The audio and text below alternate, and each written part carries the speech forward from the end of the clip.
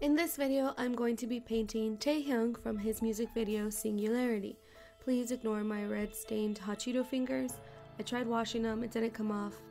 Anyways, beside the point. Um, this video is a mess. There is a lot of missing footage because I kept getting frustrated and turned off the camera and just messed with whatever was frustrating me until I figured it out, which I did, but it didn't turn out the way I wanted it. I mean, I'm happy with the painting, but there's still a lot that I gotta learn. I started this painting with the background. The reference photo that I was using is a screenshot from the MV, and in the back I can see uh, news articles, but I can't really see them well, so I didn't try to copy that completely. I just kind of painted a few squares, tried to blend them in and have them all look co cohesive, and then added little lines later for words. I noticed that if I try to copy it completely, like the photo, it doesn't turn out the way I want it to and it just makes me frustrated. So for this part, I had to put the picture away and just kind of work with what I had and figure it out. And I ended up really liking how it looked. The black lines also is just black paint with a little bit of water to make it runny and then me scribbling across the pages that are in the back. Here I'm in the middle of painting the rose bush. I did film the whole process, but I ended up cutting it out completely because it was just so dark that you couldn't see what I was painting, and the video was getting pretty long. Basically, I picked out a dark green and laid down some leaves and then used a little bit of white to add some highlight. And I did this while the paint was still wet so it can blend really nicely and just transitioned between the white and the really dark green. I noticed when I finished painting that the rose bush isn't in the background. It's kind of in the middle ground, kind of behind Taehyung's leg. And I didn't like that because I know in the picture it's pretty far back. But I didn't want to risk painting over it and not being able to paint it again. So I just left it as it is.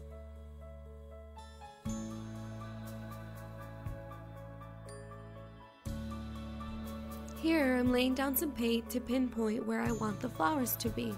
This helps me so I don't have to worry about painting them later because I tend to lose track of what I'm doing sometimes.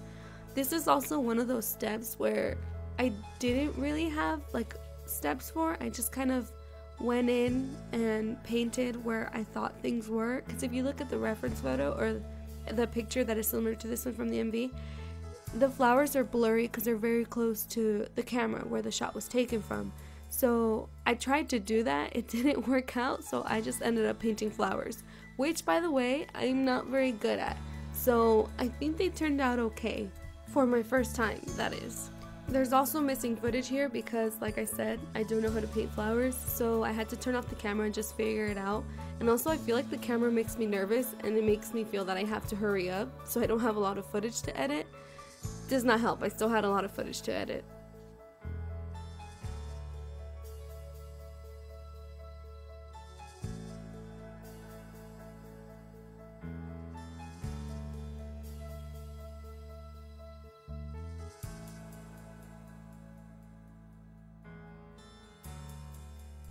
Painting clothes is one of my favorite things to paint other than hair, so I don't really have much to say about this, except for that it was really fun. I, I don't know, I can't really explain the process, I just kind of transition between my shades of color and look at the reference photo, I try to follow the reference photo as much as I can. So yeah, speaking of reference photos, this one was really hard to work with because it was very dark and I didn't want my painting to very, be very dark, so a lot of the parts that I painted that I couldn't see, I had to leave up to my imagination. But that makes for good practice, so I guess that was a plus.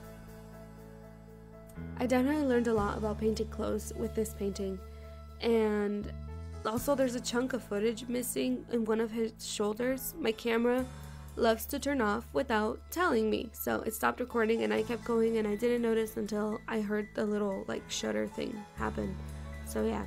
And then my camera um, battery also dies a lot. I'm in the process of getting another one, but I can't take out my battery and let it charge and wait to paint. I have to finish it because if my paint dries, I won't be able to blend as well. And then I don't think I'd be able to get the color combinations that I got before. So it was one of those struggles that I had to kind of deal with. It's a good thing this isn't a tutorial because I would have already failed.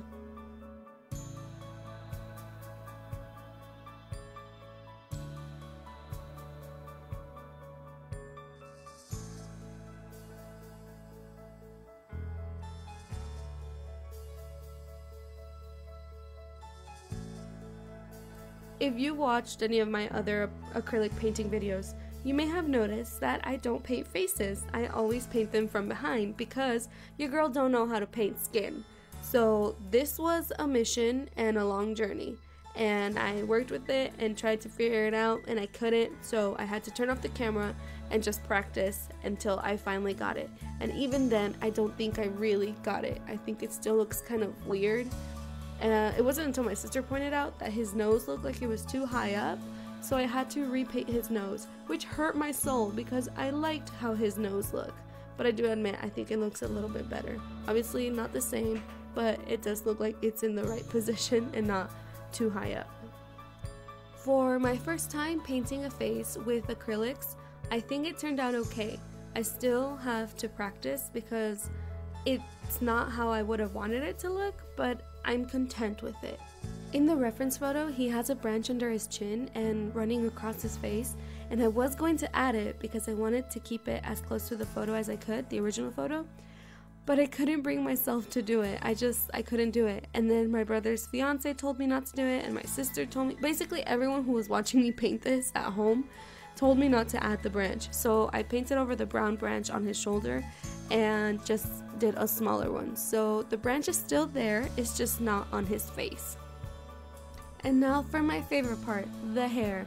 Usually when I do anything with hair, I like to work in streaking motions and like with pencil or markers but with acrylic paint it's a little bit different I kind of think in sections of three the very bottom the middle part which will be the highlight and then the very top which will be dark and I add I transition between my colors so that it'll blend a lot nicer but I don't try to draw every strand like I normally would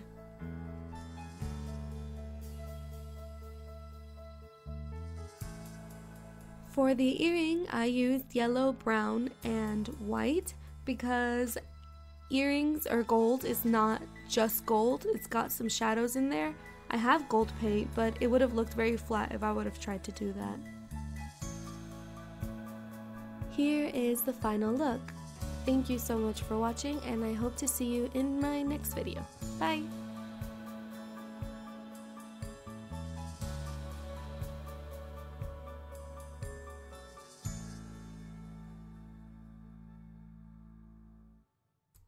Usually when I'm painting things like this, I like to...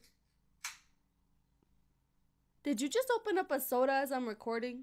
I'm sorry, I forgot. Rude.